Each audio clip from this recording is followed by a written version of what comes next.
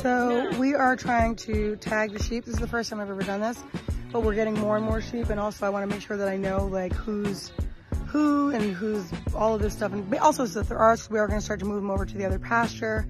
And we want to make sure that we know like kind of like the ages of everybody because we had a bunch of babies born this spring. And so we want to know who is who and how old they are so we know exactly what we're getting. Um, and it'll just help also with like just keeping track of our animals. So we're gonna try to tag them. First we have to catch them. So I begin.